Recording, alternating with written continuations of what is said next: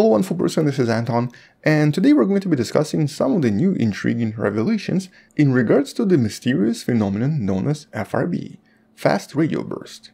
The radio phenomenon we still don't really understand very well, but that seems to happen pretty much all around us, pretty much at all times, and coming from every direction in the universe. But this new discovery might actually take us a little bit closer to explaining at least some of the FRBs because it turns out that some of them are also related to the extremely powerful collisions between neutron stars, which often result in extremely powerful gravitational wave emissions, but also an explosion known as a kilonova.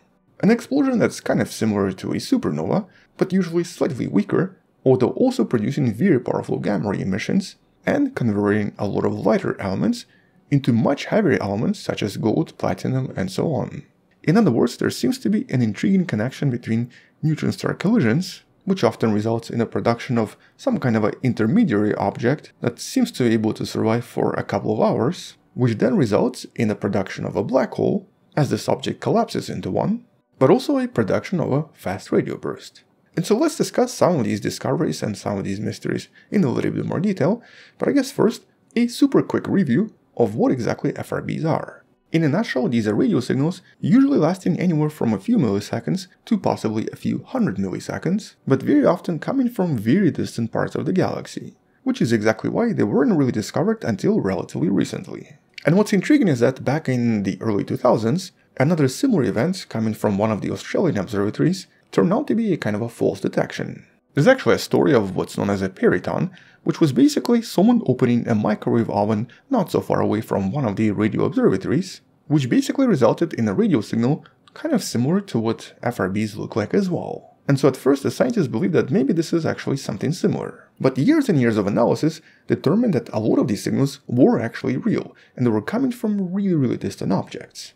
And moreover, in the last few years, the scientists have also discovered that pretty much all of them are produced by very powerful events. In just a few milliseconds, they seem to release just as much energy as our sun does in a few days. And theoretically, at least a few hundred of these reach our planet pretty much every single day. But only some are visible to us.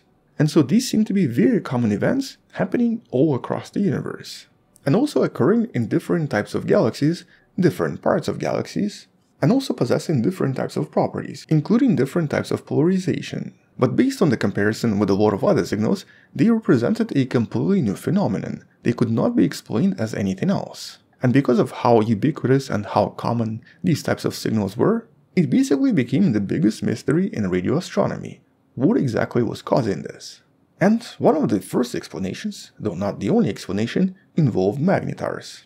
Super super powerful, very magnetized neutron stars that do have a tendency to produce very powerful radio emissions once in a while. And because FRBs have a tendency to be also extremely polarized, which does require very powerful magnetic fields, these did provide the best possible explanation. And in 2020, there was a major breakthrough coming from our own galaxy, the Milky Way. A very well-known magnetar that you see right here, G1935-2154, had a major powerful burp that actually did involve an FRB as well. And to scientists this meant one thing, magnetars indeed are responsible for at least some FRBs and at least one appeared right here in the Milky Way galaxy. But this didn't explain all of them, because some of them were repeated FRBs, some of them had very different patterns, with some of them being a little bit too periodic to explain with a simple magnetar. Which kind of suggested that maybe this is just a phenomenon that seems to happen around various neutron stars, but potentially has very different ways to be generated. And at least some theories supported this idea by suggesting that certain FRBs can also occur when neutron stars collide and end up producing a very unstable object, potentially resembling a magnetar, right at the moment of collision, but right before the object collapses into a black hole. In theory, this unusual object can exist for a few minutes, or maybe even a few hours.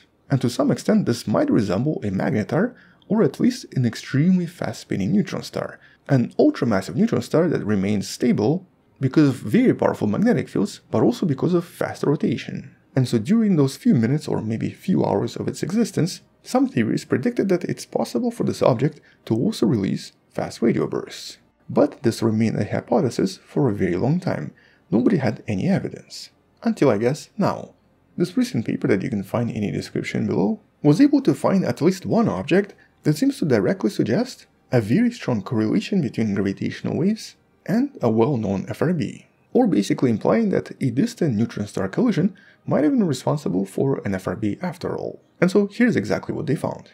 In order to discover the connection, they looked at the catalog that was released just a couple of months ago, containing all known fast radio bursts detected in the last few years. This catalog contains just over 500 different sources, confirmed in the last few years, but that's obviously just a small part of all potential detections that were missed as well. But what the scientists were hoping to find is a direct correlation with something else, something coming from another catalog. This one right here, GWTC-2, a gravitational wave catalog containing 39 gravitational wave detections from the LIGO and Virgo observatories. And they then wanted to see if any of these events happen at the same time somewhere out there in the universe. And turns out that there's one hit, something that was observed on 25th of April 2019, at an approximate distance of 520 million light years away from us, with this event being the second ever neutron star collision ever found. Back then this was a pretty groundbreaking discovery and once again confirmed that a lot of heavier elements like gold and platinum were definitively created during these events. But it just so happens that around the same time, from a relatively similar location, and most importantly at a relatively similar distance, the radio astronomers have also discovered an FRB. And though it is possible that these are unrelated events, the probability of this being completely by chance is about 0.00019, much much lower than 1%, with the implication being that the neutron stars produce this particular FRB. But I guess what's really intriguing about this detection is that it's approximately two and a half hours apart. Or basically, once the neutron stars collided, the gravitational waves coming from this event were detected about two and a half hours before the detection of a fast radio burst. Which kind of suggests one thing. It's possible that this unusual intermediary object lasted for just two and a half hours, very likely existing as some kind of a supermassive neutron star with the collapse of the neutron star being prevented by either very fast rotation, very powerful magnetic field, or the combination of both, with this hypothetical neutron star known as a blitzar. It was actually a hypothetical concept pretty much until now, but this particular detection seems to prove its existence. Basically, these would be neutron stars that can extremely rapidly collapse into a black hole when their rotation speed slows down just enough when they can no longer remain neutron stars, collapsing into black holes as a result. And because in this case it survived for two and a half hours, all of this is consistent with theories and the simulations from all of the previous studies. Although in this case, in this detection, the two individual neutron stars that collided to create this blitzar, for some reason were actually much more massive than any individual neutron stars located in the Milky Way. So there is also a bit of a mystery in regards to their origin. But because the rate of binary neutron star collisions is actually much lower than the total rate of all of the FRBs detected so far, this is probably just one of many mechanisms that seem to be able to produce these unusual events. Or in other words, these very fast radio bursts can potentially be produced by a lot of different things out there in the universe. And though many are produced by magnetars or very unusual neutron stars, and at least one have now been definitively proven to be a result of a neutron star collision, many seem to come from different sources that even now cannot be explained especially the ones that seem to repeat quite regularly. And you can find more about these FRBs in the videos in the description. By the way, in case you're wondering, this particular detection came from a galaxy known as UGC 10667, a spiral Milky Way-like galaxy located about 520 million light years away from us. But I guess for now that's kind of all we know. FRBs still remain a mystery, but a mystery that we're getting closer and closer to solving. Some of these signals are definitely magnetar related, some of them are related to neutron star collisions, but many are still unresolved, which means that we'll be coming back and talking more about them in some of the future videos. Thank you for watching, subscribe, share this with someone who loves learning about space and sciences, come back tomorrow to learn something else, maybe support this channel on Patreon by joining channel membership or by buying the wonderful person t-shirt you can find in the description. And either way, stay wonderful, I'll see you tomorrow, and as always, bye bye.